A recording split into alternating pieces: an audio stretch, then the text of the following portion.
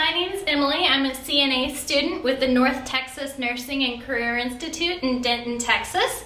Today I'll be explaining the skill of hand washing. For the skill of hand washing, we're going to need to grab our paper towel and turn on both sides of our sink, ensuring that the water is warm but not too hot. And we're gonna throw this paper towel away. We're gonna get our hands wet, ensuring that the water is warm, and we're gonna get our soap.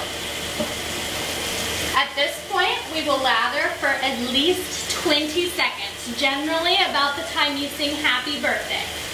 Happy birthday to you. Happy birthday to you. Happy birthday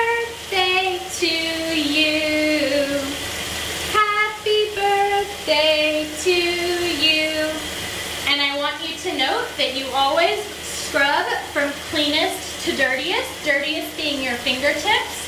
You want to ensure that you clean your fingernails on the inside of opposing palms and that you clean in between each finger as you're scrubbing.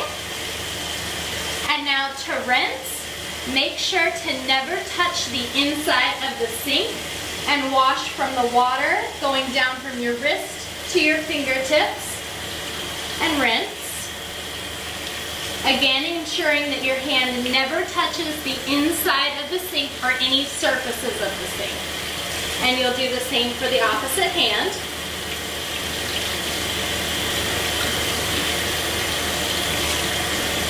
At this point, you'll grab your paper towels and you want to ensure that your hands are completely dry.